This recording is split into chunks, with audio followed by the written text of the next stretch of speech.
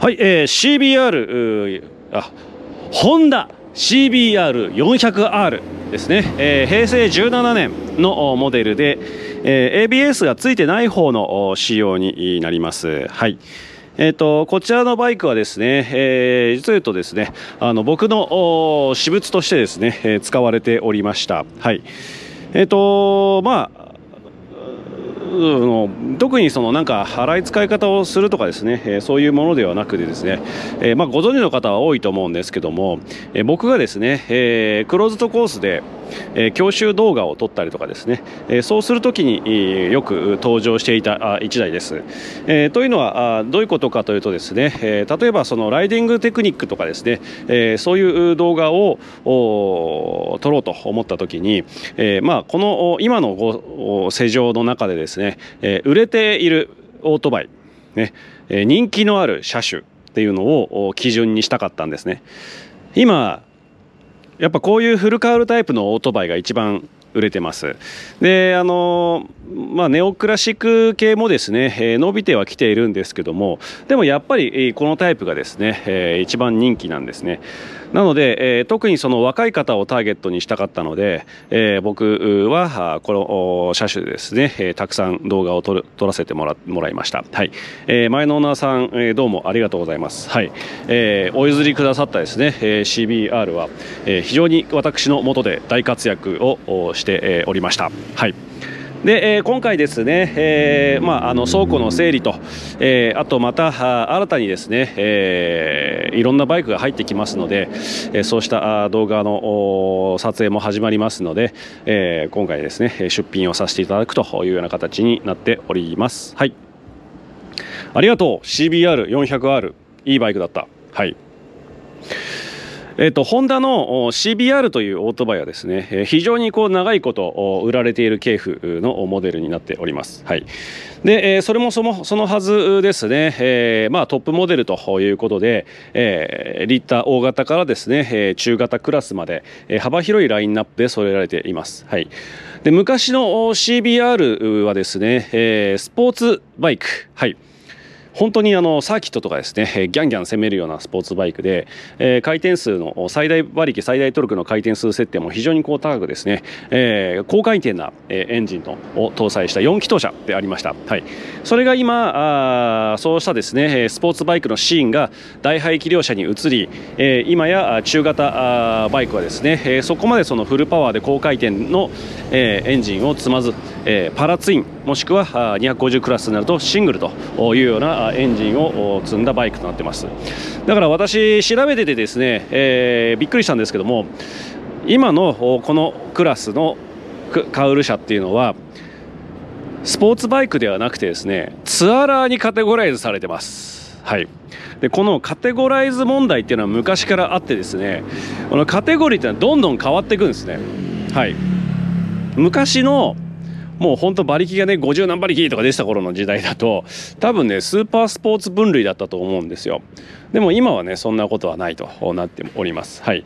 で、えー、じゃあそのパワーがないのかというとですね排気量が同じだけありますので、えー、パワーは出てます。じゃあなぜですね、えー、まあ、これパラツイン2気筒ですけども、え4気筒から2気筒に変わってきたかというとですねそれはまずコストの問題もあるんですけどもパラツインの方がですね、え実を言うと乗りやすいバイクになります。はい。乗りやすいバイク。これがね結構分かりづらいんですよ。えー、表現がね非常にこう分かりづらいんですけど、あのー、よくね馬力とトルクで、えー、混乱してる人はいたくさんいらっしゃると思います。はい僕もですね長年やってますけどもんって時は結構多いです。はい。で、えー、まあトルクが太くなるんだ馬力が大きくなるんだみたいなね話が多いんですけどもあのー、分かりやすく分かりやすく言うとですねえー、馬力のあるエンジン馬力のあるバイクっていうのはどういうことかっていうとパワーが出ている状況を表すんですよねあれね。状況って何？ね。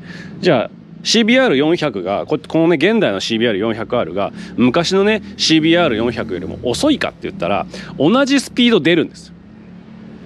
ね、例えば120キロ。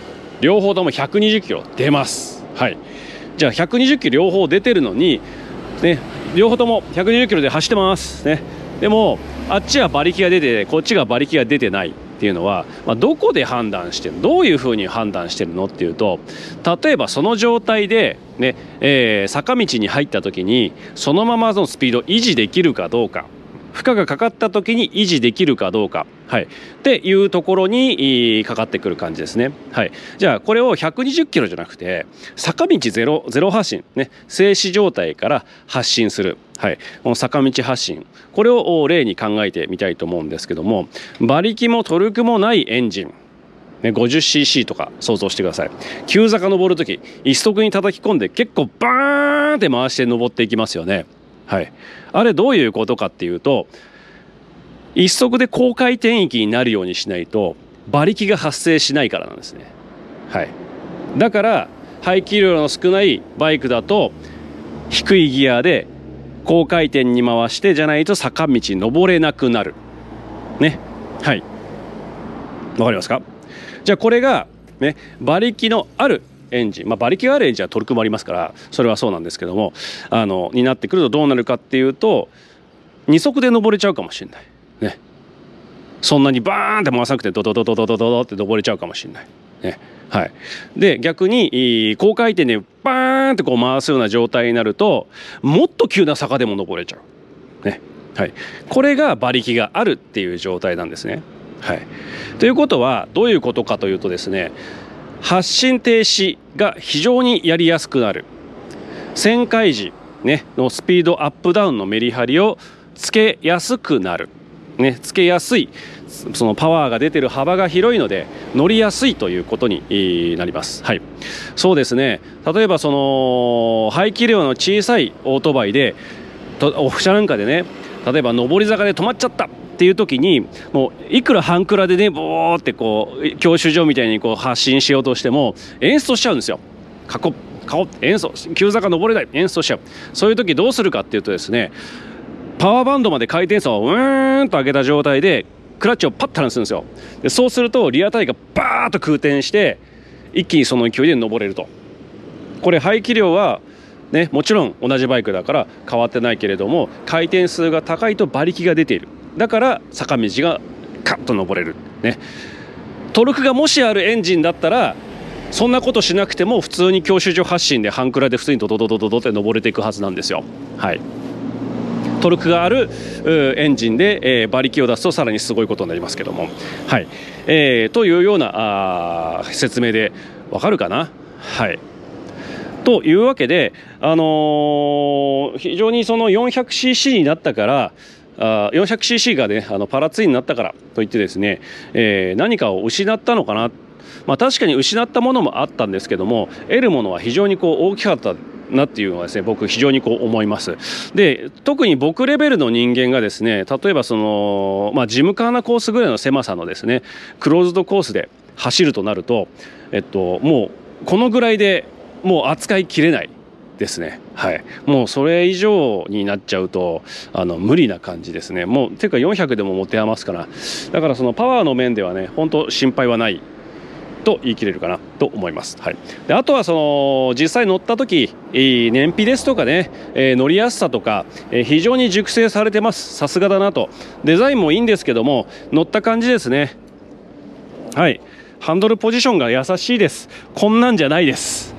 はい、このポジションなら全然、ね、あの長時間行っても大丈夫そうだなっていうのは皆さん、ね、ご理解いただけるんじゃないのかなと思います。はい、あと非常にこう足回りいいですね。足回りいいしブレーキもよくしっかりと効いてくれます。はい、エンジンかけよう。エンジンもインジェクションで一発。はい、ETC もついてます。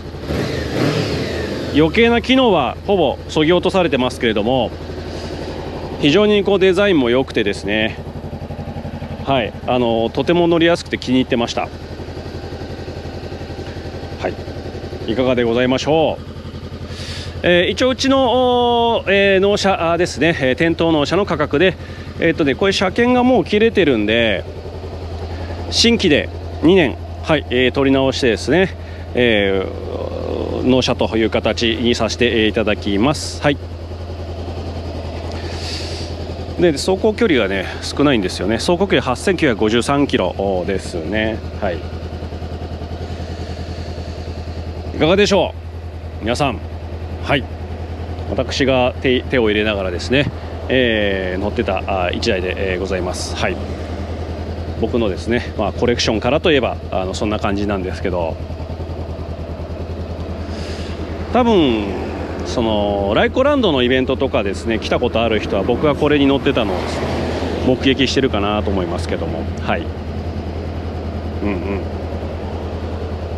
いいですね。いいリズムです。はい、えー、日本全国納車いたしております。